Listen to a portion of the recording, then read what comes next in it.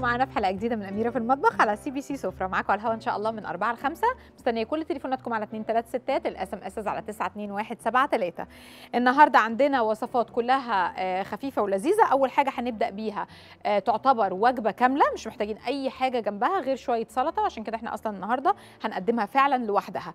آه، ممكن بعد ما تخلصوا تدخلوها الفرن إذا حبيتوا. هنعمل مع بعض المكرونة بالصوص الأبيض وهنحط معاها المشروم وهنحط معاها الفراخ والوصفة دي بتطلب مني كتير جدا جدا فهقول لكم على كل تفاصيلها النهارده وهنستخدم معاها كريمة نسله هنعمل إيه؟ عندي آم، زبدة توم مفروم مرمرية ملح وفلفل مشروم متقطع شرايح. أنا مستخدمة هنا فريش لو ما عندناش هنستخدم المعلب بس بعد ما نصفيه من ميته كويس جدا ونشطفه من مية الحفظ كويس قوي. عندي كمان آه، مكرونة مسلوقة. إحنا هنا مستخدمين قلم أنتوا تستخدموا أي حاجة. عندنا كوب من كريمة نسلة. عندنا دقيق آه، كرات مفروم صدور دجاج متقطعة شاورما آه، جبنة بارميجان مبشورة وعندي ريحان. للي مش بيحب المرمرية ممكن نستغنى عنها ونكتفي بالريحان. هنعمل إيه؟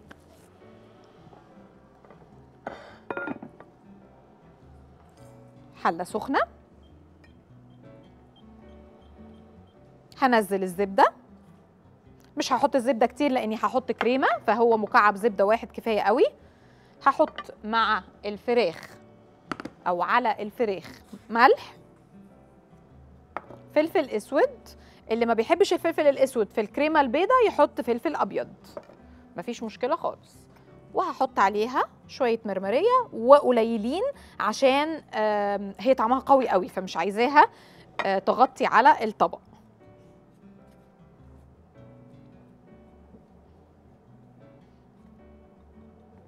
بس الزبدة تسخن. هننزل معاها الفراخ. وهطلع بولة يا أم محمد. أم محمد.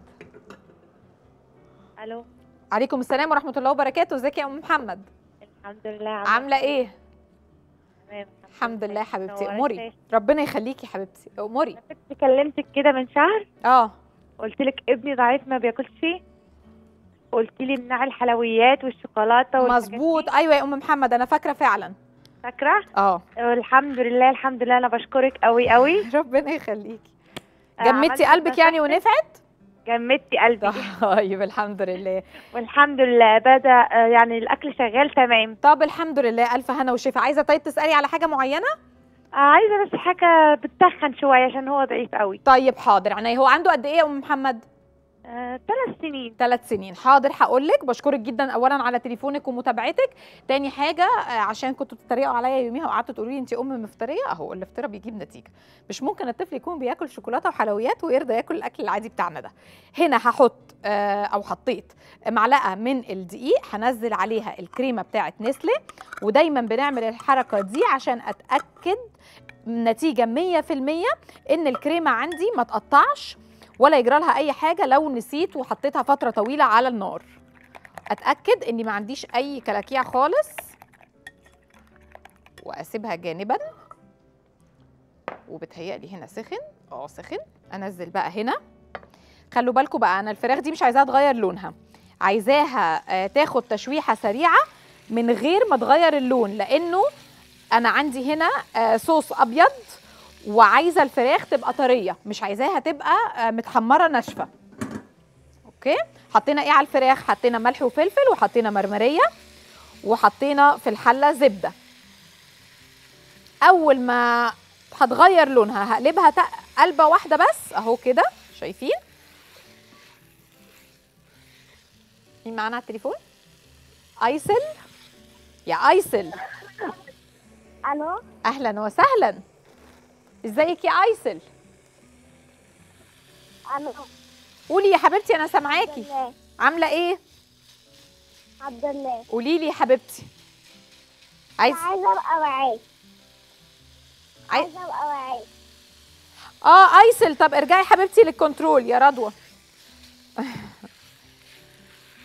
أهو. بصوا قبل ما تغير لونها بالكامل وتبتدي تلون جامد هقوم منزله لها الكرفس. توم مفروم. يا فرح. ألو؟ فرح ازيك؟ الحمد لله. عاملة إيه؟ كويس انت عاملة إيه؟ الحمد لله يا حبيبتي تمام. اموري يا فرح؟ آه عايزة الدانوت بالكريمة والمكرونه بال white sauce. حاضر عينيا. المكرونة بال white sauce تابعيني لأن إحنا بنعملها أهو دلوقتي.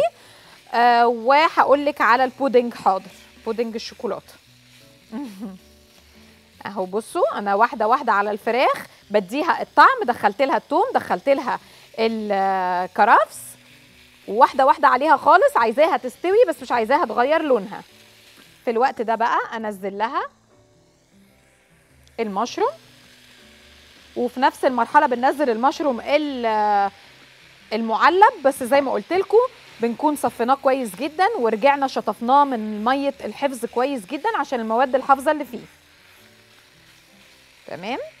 تمام. أهو. نرجع دول ورا مش محتاجينهم؟ يا كوثر.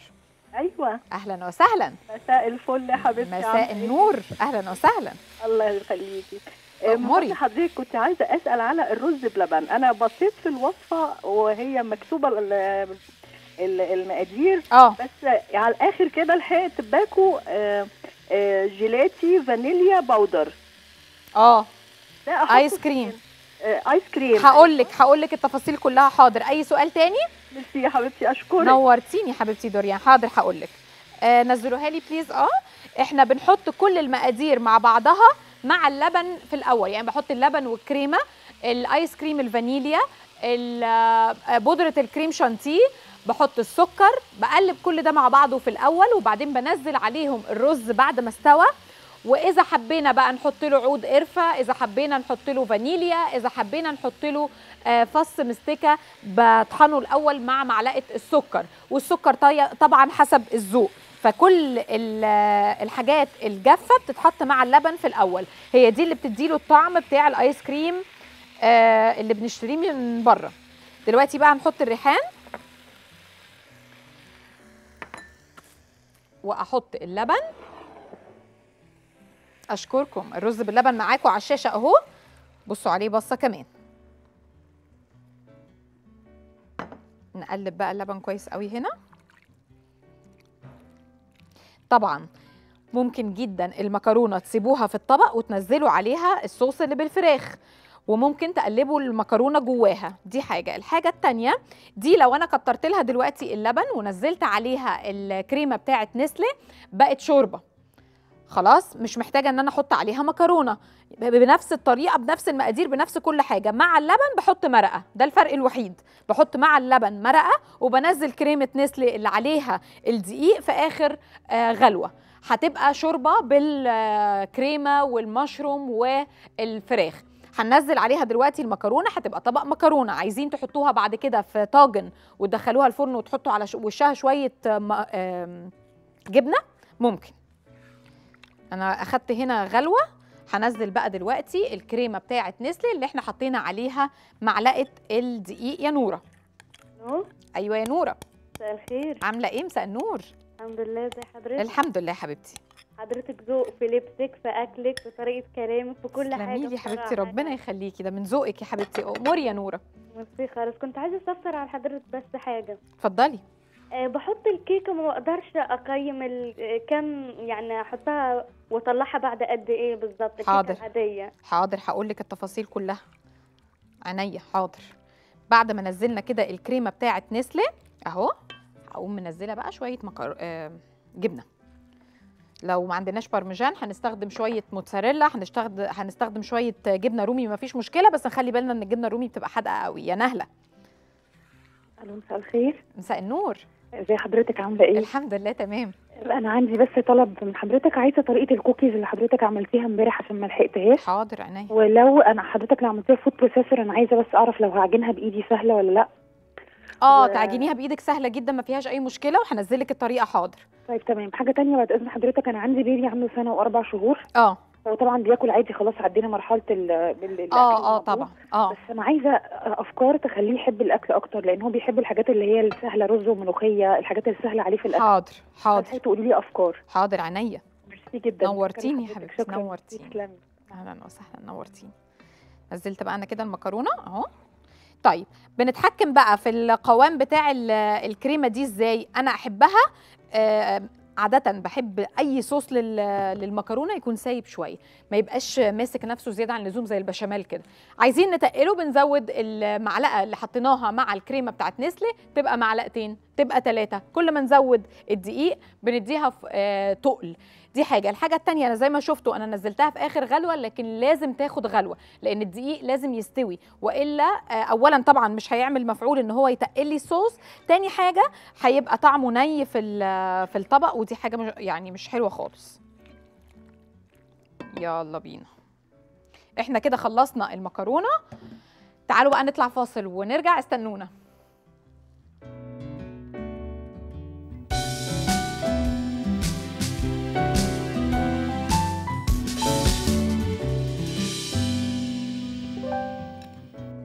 أهلا بيكم بعد الفاصل. قبل الفاصل عملنا المكرونة اللي بالوايت صوص المشروم والفراخ. استخدمنا فيها الكريمة بتاعه نسلة.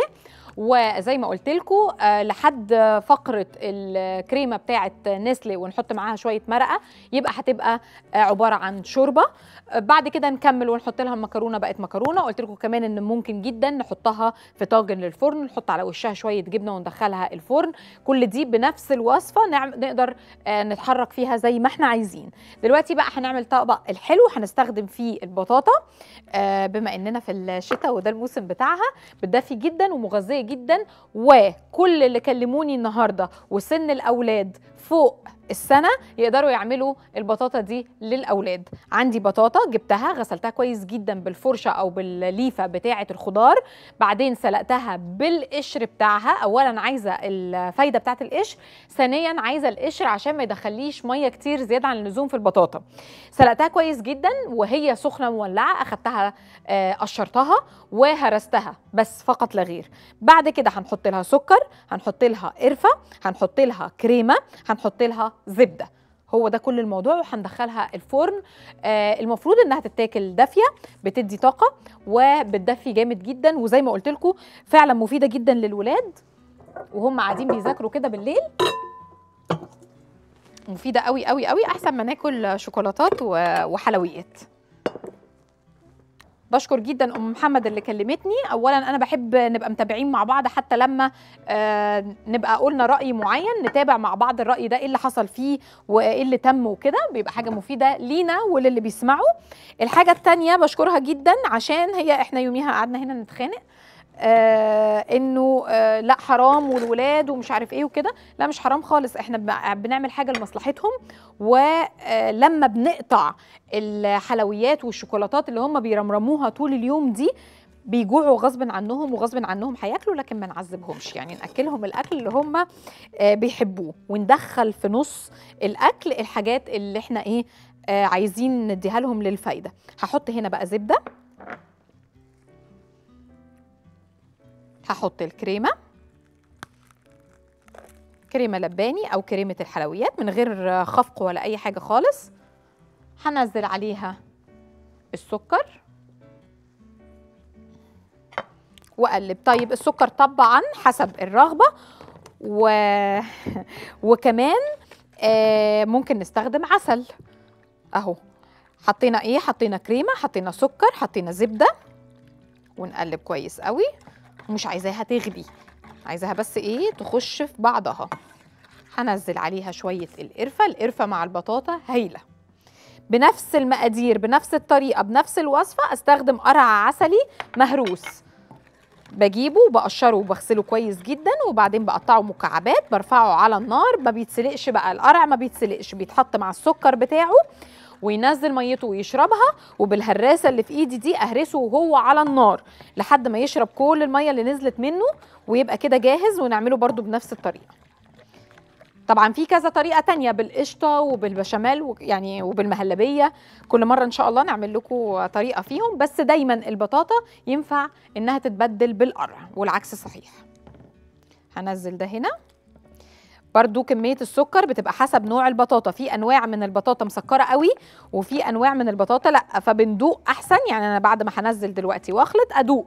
وبعدين أشوف محتاجة أزود آه، سكر تاني ولا لأ. ندخل بقى كل السائل ده جوه البطاطا. ومش عايزة أنشفها قوي على النار. على فكرة ممكن جدا ما تخش ما تدخلوهاش الفرن. يعني ممكن تكتفوا بالسخونية اللي هنا وتتقدم على طول في كاسات. يا تهاني. أهلا وسهلا. عاملة إيه؟ اموري يا تهاني. أيوه. اموري يا حبيبتي. عايزة طريقة ال donut donuts؟ حاضر عينيا. donuts أرجوكم أشكرك. أهو بصوا نحاول ندخل السائل ده.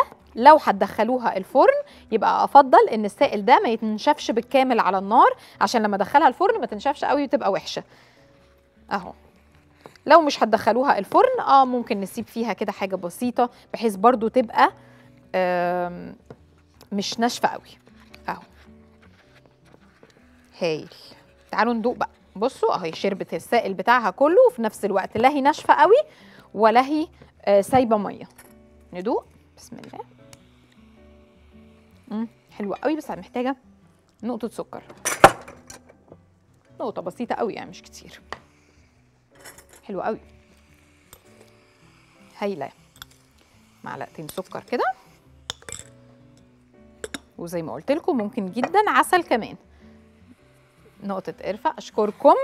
مكعبات ال- الشوكولاتة بالكراميل اللي إحنا عملناها امبارح. ومعاكم على الشاشة. أول جزء فيها هو ال- الكوكيز. ممكن جدا نعمله من غير عجان مفيش مشكلة. ممكن جدا نستخدم فيه سكر أبيض بدل السكر البني. ممكن جدا نعمل السكر البني في البيت. بنحط له عسل أسود. مش نفس الفايدة يا جماعة نفس المفعول لكن الفايدة لأ مش واحد عشان الأمانة. بحط الأول ال- السكر مع ال- الزبد. لأ أنا آسفة.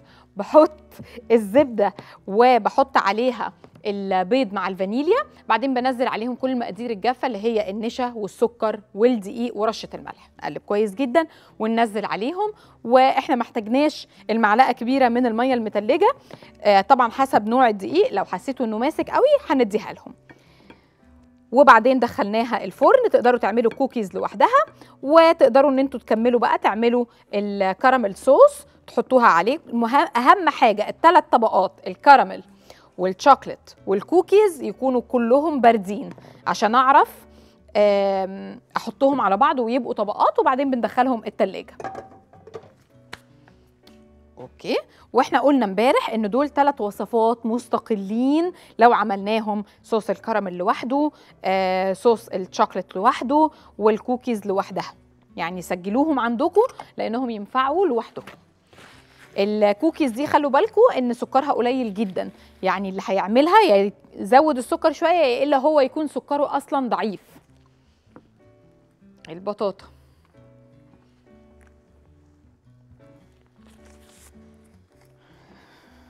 نجاوب على الأسئلة؟ ولا إيه الأخبار؟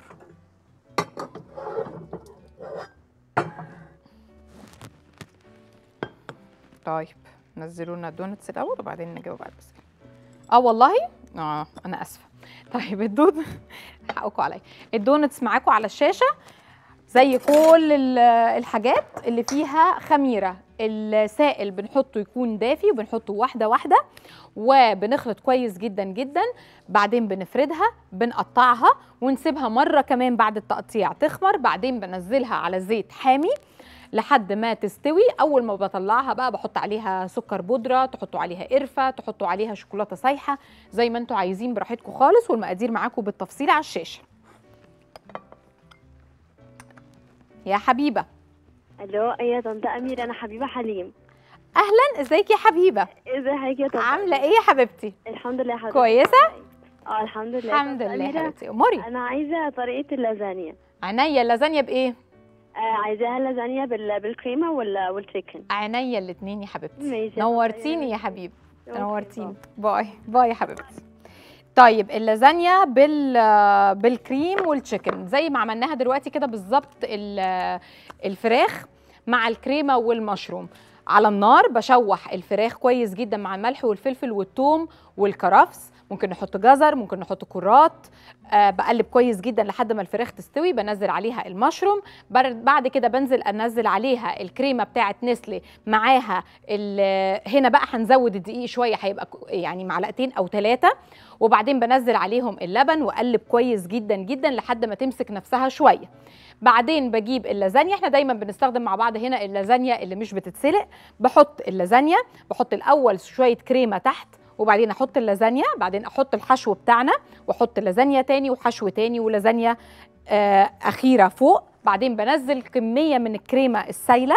وأحط على الوش الجبن وأدخلها الفرن يا حبيبة وتطلع حلوة جدا. إحنا هنا حطينا آه ريحان حطينا مرمرية. ممكن نحط آه ريحان أو مرمرية أو زعتر أو روزماري التنكيه بقى اللي انت عايزاه. يا دينا. ألو. أيوه يا دينا. ازي حضرتك؟ الحمد لله حبيبتي. اتفضلي. أنا بحب حضرتك الأول ربنا يخليكي حبيبتي. أموري. عايزة طريقه الكريم كراميل. حاضر عينيا. الله يخليك. هو مشكرين على الجميلة. نورتيني يا حبيبتي ربنا يخليكي. لا شكر على واجب. الله يخليك.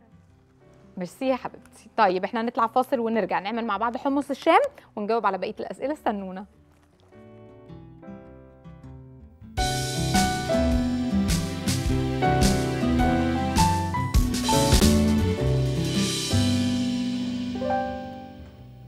أهلا بيكم بعد الفاصل. قبل الفاصل إحنا عملنا مع بعض المكرونة استخدمنا فيها الكريمة بتاعه نسلي حطينا فيها الفراخ وحطينا فيها المشرومز. بعد كده عملنا مع بعض الصينية بتاعه البطاطا اللي استخدمنا فيها الكريمة والزبدة والقرفة. دلوقتي هنعمل مع بعض حمص الشام. آه، حمص الشام عايزين تحطوا معاه الحمص ني وتسلقوه آه، في نفس الحلة مفيش مشكلة خالص. عايزين تبقوا سالقين الحمص الأول وبعدين تحطوه معاه أوكي. عايزين تجيبوا الحمص اللي في العلب وتشطفوه كويس جدا وتستخدموه برضو أوكي مفيش مشكلة خالص. لو هنسلقه في البيت بنسلقه 3 أرباع سلقة وباخد آخر سلقة هنا. هنعمل إيه؟ آه لو بقى هتستخدموه مسلوق سلقة كاملة يعني من العلب مثلا أو حاجة بنزل المقادير بتاعتي الأول أغليها مع بعضها وبعدين أنزل الحمص في آخر غلوة عشان ما يتهريش زيادة عن اللزوم. هنعمل إيه؟ عندي حمص آه مسلوق 3 أرباع سلقة عندي بصل توم صحيح صلصة طماطم أو معجون طماطم طماطم آه عصير ليمون كمون وشطة وطبعا الشطة اختياري. هنعمل إيه بقى؟ هحط الحمص هنا.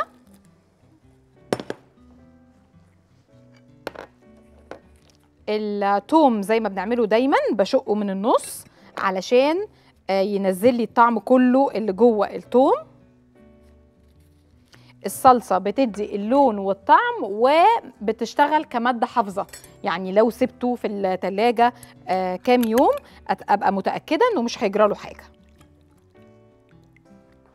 طالما حطينا صلصة يبقى هنحط معلقة صغيرة من السكر زي ما إحنا متعودين عشان نعادل الطعم بتاع الحموضة بتاعه ال- الصلصة أو الطماطم. نحط الطماطماية بنعمل إيه بقى؟ بشق هي وهي صحيحة كده بشقها ما نوصلهاش للآخر. أهو. أعمل فيها كده علامة زائد وما شقهاش للآخر عشان آخد كل الطعم اللي جواها. البصلة نفس الكلام. أهو. كده. وكده بطلع منها الطعم زي ما عملنا في التوم كده وبسيبها صحيحة عشان بعد كده يبقى سهل عليا إن أنا أشيلها. كمون وزي ما إحنا متفقين عامة الكمون طبعا بيبقى محطوط كده كده في في حمص الشام لكن مهم جدا في البقوليات عامة عشان الانتفاخ بتاع البطن. أنا عشان سلقت خلاص الحمص هحط الملح. لو إحنا لسه بنسلقه ما بنحطش الملح في الأول عشان البقوليات ما بتتسلقش كويس لما يبقى معاها الملح من الأول. يا مريم. إزيك يا مريم؟